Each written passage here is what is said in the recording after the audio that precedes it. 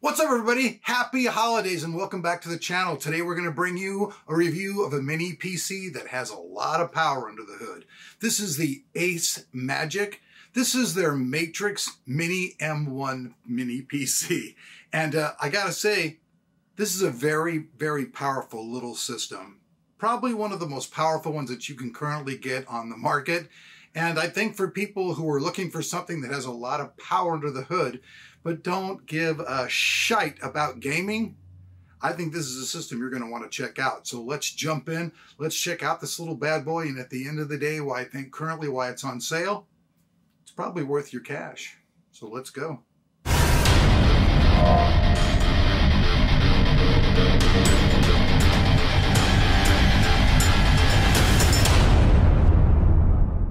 All right, tech fans, real quick before we jump in today's video, do you guys happen to need a Windows 11 or Windows 10 key?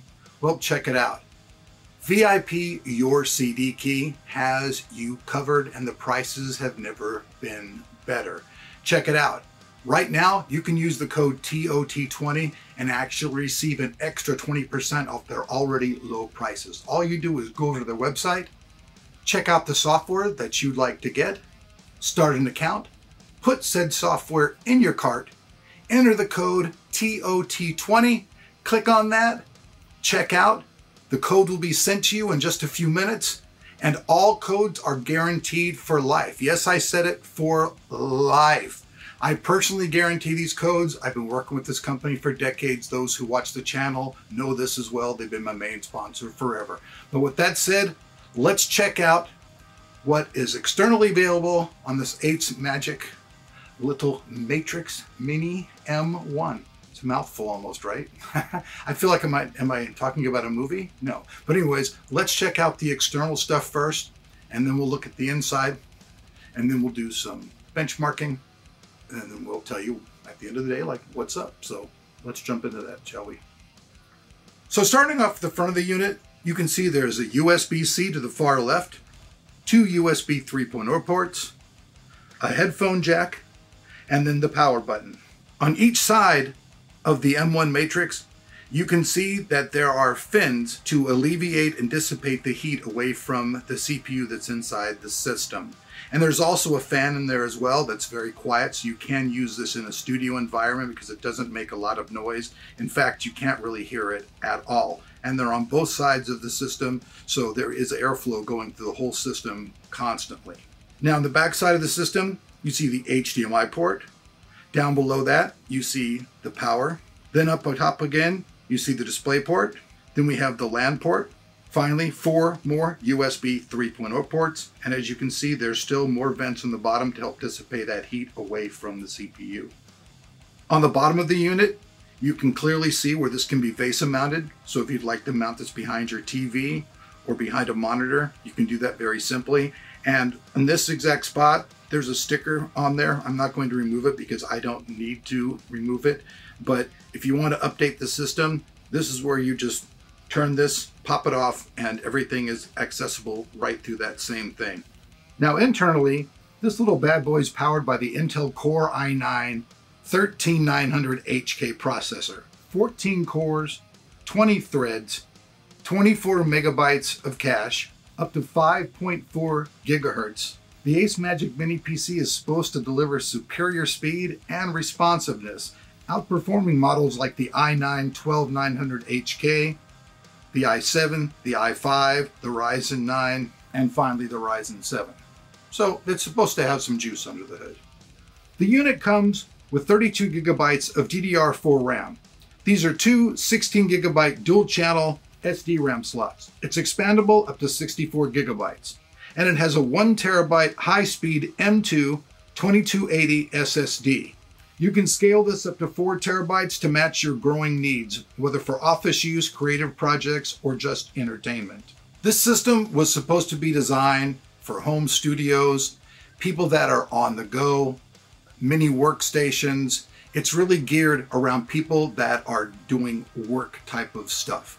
Like I said earlier, this PC is not geared for gaming at all, and I'm very proud of the people at Ace Magic by not trying to pull the woolly over people's eyes and go, oh, it's a gaming system, because let's just be honest. onboard Intel gaming stuff is crap. I'm sorry. I'm totally more for any of the AMD stuff. They have a much better onboard graphics solution for people who are looking to play games on their mini systems. I'm sorry, Intel. It's just the way things are.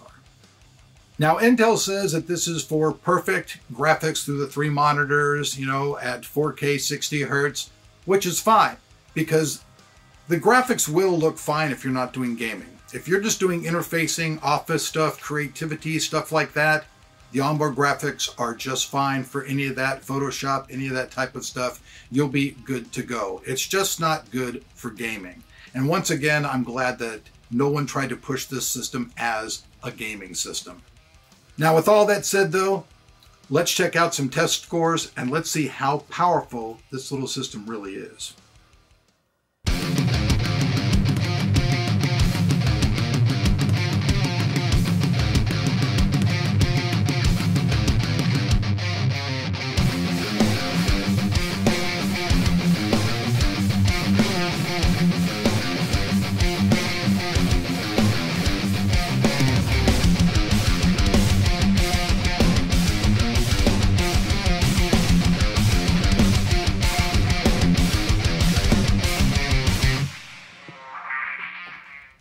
Okay, so check this out.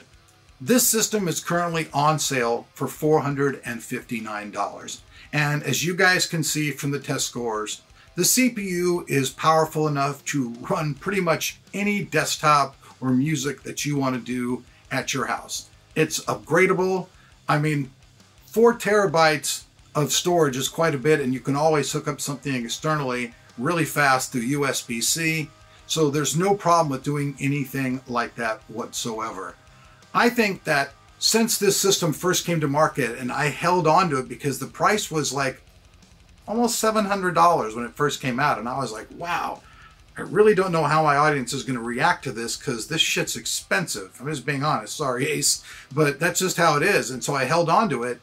And then last week, I saw the price drop and I was like, okay, cool. Now I can do this video before Christmas why it's actually at a good price. And if you're somebody who's looking for something that's very powerful to do whatever you're doing at home, I mean, honestly, it'll pretty much do anything you want to, including 3D stuff, AI, whatever you need, it'll do that. The only thing it doesn't do and don't expect it to do is be some kind of gaming machine. I think for the price, this is a really well-deserved system. I'm going to give it a Tech of Tomorrow. I think this is definitely a award-winning, a editor's choice product. I watched the price drop, and for the performance that you're getting, all the features, this thing works simply. It's very quiet. Um, plus the fact that, I mean, it's so small that, like, in a music studio, you can literally, like, just set it back behind a monitor and do stuff. I mean, it's not going to be the greatest thing in the world for, like, making your super duper hit album, but you can definitely do a lot of tracking and a lot of things on it without having to worry about any noise interrupting what you're doing in the workflow. And for those who just don't want, you know, any desktop space at all, hey, slap it there. Also, if you want to build the most super powerful TV box, you can do it. It's under 500 bucks. Comes with a lot of memory, quite a bit of storage. You could add more.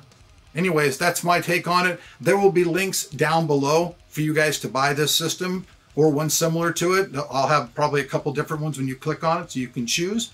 But like I said, at the end of the day, this is an editor's choice product. It's quiet, it runs well, there's no problems with it whatsoever. Um, if you're an Intel fan, I think this is going to be right up your alley. So peace out. I'll see you guys back here on the channel. I have Patreon, so if you'd like to support the channel, you could uh, leave a dollar, one single dollar. Also, if you like this video, please like it and share it if you would be that kind. I would appreciate you. Love, God bless.